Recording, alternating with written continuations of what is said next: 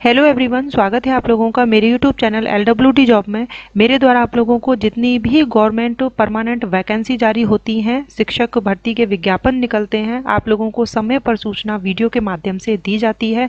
इसीलिए जो है आप लोग लगातार वीडियो देखते रहें। आप किस राज्य के कैंडिडेट हैं, ये मुझे नहीं पता है, लेकिन मैं आप लोगों के लिए जो है सभी राज्यों की जैसे ही वैकेंसी निकलती है, चाहे वह सरकारी हो प्राइवेट सेक्टर की वैकेंसी हो, या किसी भी डिपार्टमेंट की वैकेंसी की सूचना जैसे ही मुझे पता लगती है, आप लोगों के लिए वीडियो बना दिया जाता है। तो आपको लगातार जो है वो वीडियो देखते रहना है, तभी आप लोगों को समय पर जो है पता लग सकेगा कि हमारे राज्य की जो है वो बिल्कुल परमानेंट वैकेंसी जारी हुई है या फिर प्राइवेट सेक्टर में ये वैकेंसी जारी हुई है और हमें फॉर्म फिल करना है लास्ट डेट से पहले। तो चैनल पर बने रहें, यदि चैनल पर पहली बार हैं तो चैनल को सब्सक्राइब करें बेल बटन को प्रेस ज़रूर करें, तभी आप लोगों को हर वीडियो की सूचना समय पर यूट्यूब के द्वारा मिल सकती है। ज़्यादा से ज़्यादा वीडियो को शेयर करिएगा ताकि और लोगों को भी, जो भी जॉब सर्च कर रहे हैं, शिक्षक बनना चाहते हैं, चाहे वह सरकारी या प्राइवेट या किसी भी डिपार्टमेंट की वैकेंसी आती है, समय पर सभी लोगों को सूचना मिल सके और नौकरी समय पर लग सके।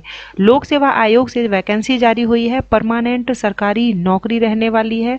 शिक्षकों की यहाँ पर जो है वो भर्ती की जाएगी। तेरह पदों पर ये वैकेंसी है अलग अलग विषय रहने वाले हैं। सैलरी जो है यहाँ पर सिक्सटी थाउज़ेंड से अधिक आप लोगों को दी जाएगी।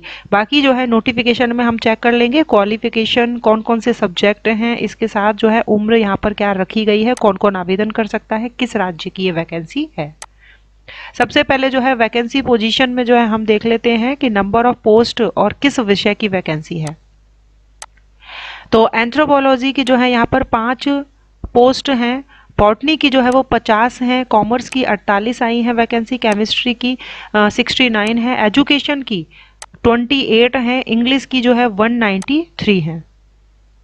नेक्स्ट जो है इकोनॉमिक्स की जो है 151 है, जो कि सबसे अधिक है, क्योंकि इकोनॉमिक्स में जो है बहुत कम जो है सीट देखने को हमें मिलती हैं सरकारी में।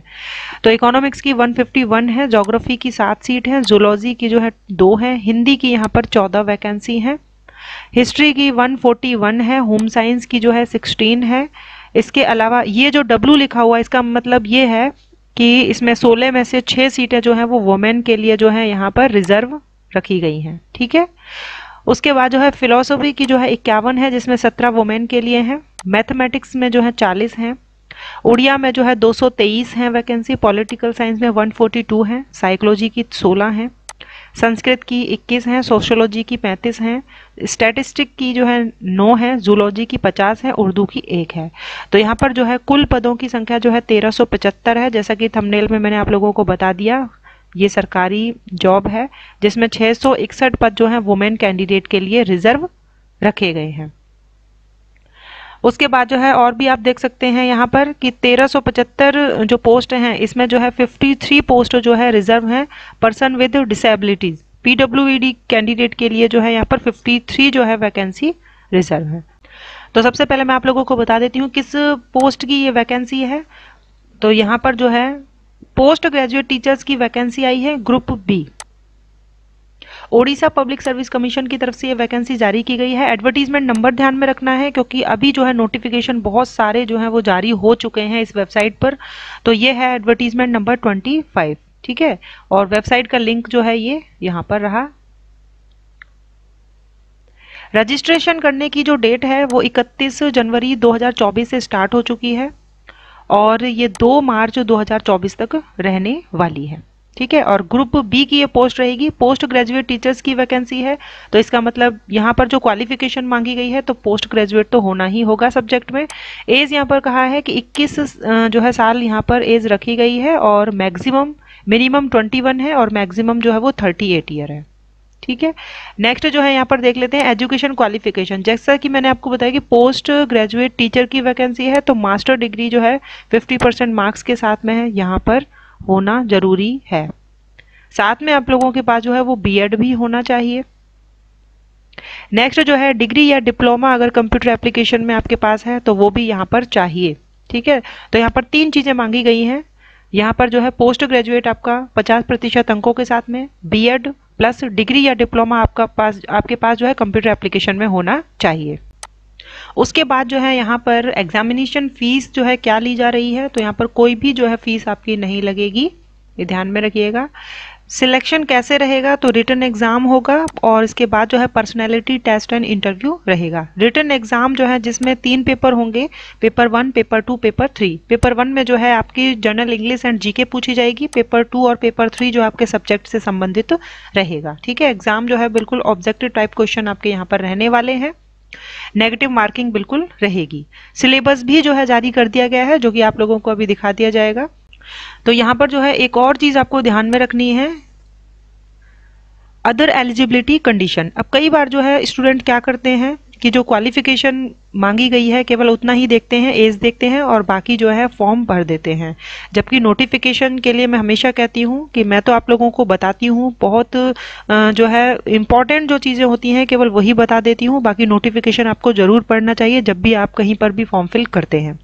अदर एलिजिबिलिटी कंडीशन में यहाँ कहा है कि भारत का जो है नागरिक होना चाहिए कैंडिडेट को और साथ में जो है यहाँ पर read write and speak Odia. Odia जो है पढ़ी लिखी या बोली बिल्कुल आपने बोली हो। ठीक है, पढ़ी हो कहीं पर भी आपने एजुकेशन में, लिखी हो या फिर कोई भी एग्ज़ाम दिया हो और बोलनी आनी चाहिए।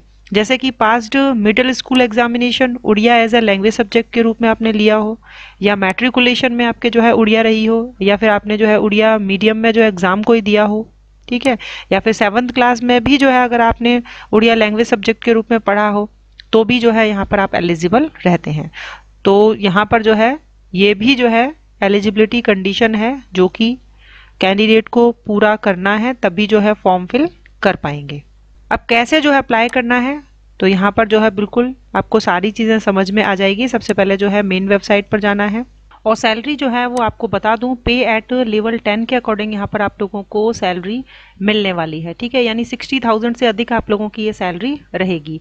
तो पहले तो जो है यहाँ पर पोस्ट को टेम्प्रेरी किया जाएगा और उसके बाद जो है परमानेंट भी जो है इसको बना दिया जाएगा। लास्ट में जो है यहाँ पर सिलेबस भी जो है दिया गया है post graduate teacher in group B तो सिलेबस आपका क्या सब्जेक्ट है तो आप देख लें। बाकी जो है, जर्नल इंग्लिश 50 मार्क्स की, जो सभी से पूछी जाएगी। और यहाँ पर जो है, question paper in general English will be of twelfth level. Twelfth level तक का जो है, यहाँ पर क्वेश्चन पेपर आपका रहने वाला है, ठीक है? तो जो भी सब्जेक्ट है आपका तो वो आप देख लें। और इसका लिंक मैं आप लोगों को शेयर कर दूँगी, ताकि आप लोग अपना सिलेबस देख लें। क्योंकि यहाँ कोई फ़ीस तो नहीं लगेगी। तो अगर आपने उड़िया पढ़ी है, बोली है, या फिर आपने कोई एग्ज़ाम दिया है तो बिल्कुल आप यहाँ पर जो है फॉर्म फिल कर सकते हैं। सबसे पहले जो है मेन वेबसाइट पर आना है। मेन वेबसाइट पर जैसे ही आप आते हैं तो आपके सामने यही पेज ओपन होगा और यहाँ पर जो है नीचे आपको देखना है एडवर्टीजमेंट नंबर ट्वेंटी फाइव मैंने आप लोगों को बताया था। तो यहाँ पर एडवर्टीजमेंट नंबर ट्वेंटी फाइव जो है आपको ढूंढना होगा, क्योंकि बहुत सारे एडवर्टीजमेंट जो है वो जारी हो चुके हैं और कई नोटिफिकेशन है। तो अभी जो है ये 24 है, ये 23 है। ये रहा, देखिए 30 दिसंबर 2023 advertisement for recruitment to the post of post graduate teacher और सिलेबस इंक्लूड है इसमें तो इससे जो है वो आप लोग व्यू पीडीएफ इस पर क्लिक करेंगे और सारी चीज़ें आप लोग पढ़ेंगे, फिर फॉर्म भरना है सिलेबस भी आपको इसी में मिलेगा। तो चलिए, मिलेंगे नेक्स्ट वीडियो में। Thank you